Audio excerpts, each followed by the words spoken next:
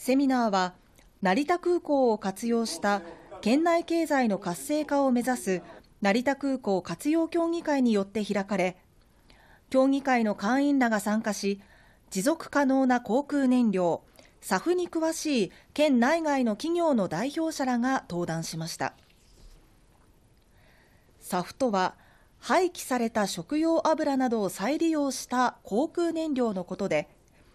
大量の燃料が必要な航空機の二酸化炭素の排出量を大幅に減らすことが期待され成田空港でも導入が促進されています。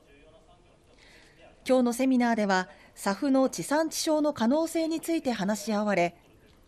成田空港周辺で採れる野菜の廃棄部位などを原料に SAF を作るといった意見や県内で SAF を製造する場合の課題として生産にかかるコストが割高なことなどが洗い出されました。その後は SAF の製造事業に参画する企業の代表者らによるパネルディスカッションが行われ参加した会員らは SAF への理解を深めている様子でした。